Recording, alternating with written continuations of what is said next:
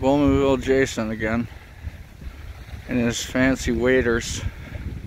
We call them pants. But you know,